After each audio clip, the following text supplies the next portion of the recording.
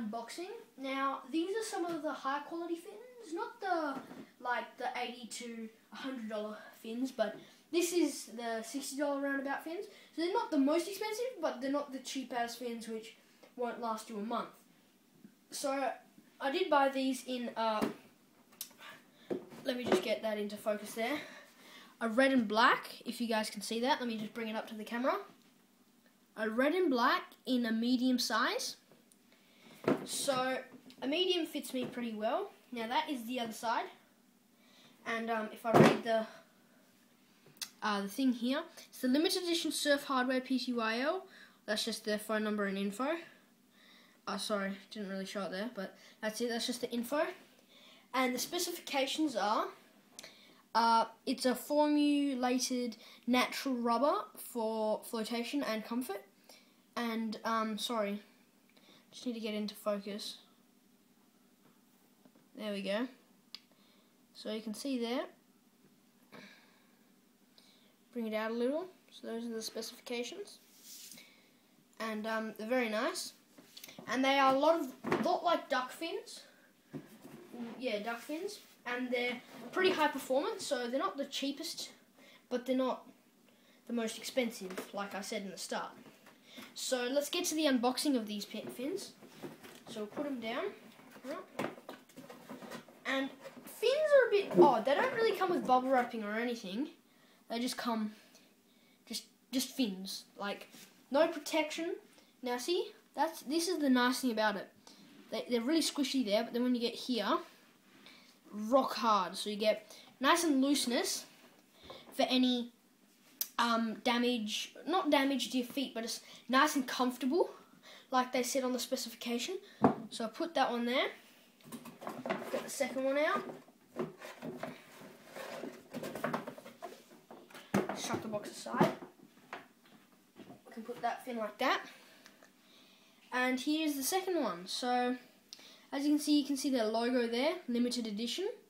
And they've got a hole in the bottom there, especially for when you've got fin savers, and they're attached around the back there, that you don't, like, they don't drag you down.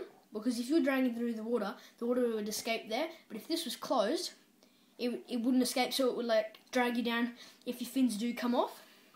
That's a very good little um, extra that they put in there. And um, when they say made in Malaysia, now if it's made in China, it isn't actually as good as the Malaysian rubber because the Malaysian rubber is actually better than the Chinese rubber. It's a better quality rubber, and um, that was told to me by the surf shop owner. Then again, um, he was not trying to rip me off or anything. The two fins were both the same price and size, but the rubber was just different. Now, if we just get the box again and we read out these specifications, you guys can see that. It's single center str strut for blades, for blade strength, flexibility, and thrust, and bevel, beveled heel strap to assist elimination of chafing, which I hate chafe, especially on this part of the fin when it's too loose and like you get chafe in there, just on the top there, and on the back with your heel. Now that makes it very uncomfortable when you're bodyboarding, which isn't always a good, which isn't very good because when you're bodyboarding, you want it to be comfortable when you're pa paddling for a big wave, or you re- or you're a bit further out back, but you think you might be able to get a closer in wave. So you've got to be able to paddle those distances with the the right fins and without it chafing, because then it becomes very uncomfortable to swim distances with these fins.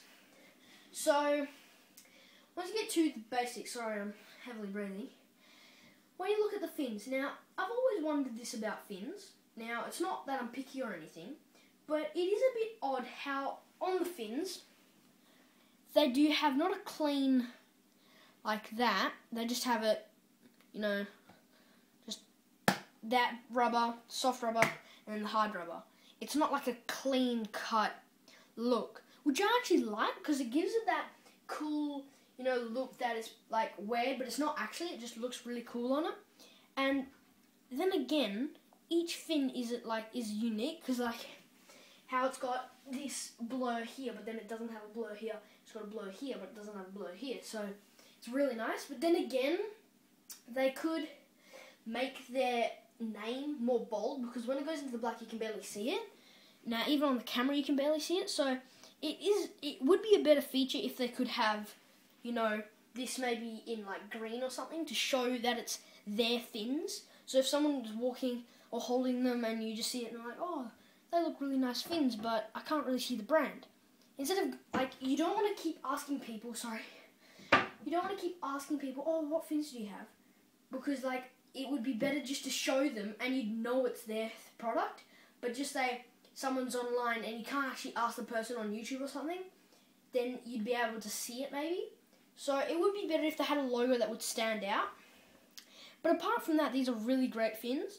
Like I've used them in the past before and they're amazing. They don't chafe. It's so smooth on the inside. Like it is legendary.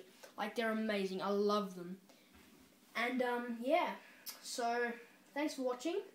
Please subscribe and check out some new videos. There will be a new not unboxing but unwrapping of an NMD Jase Finlay Pro Ride. So thanks for watching and bye.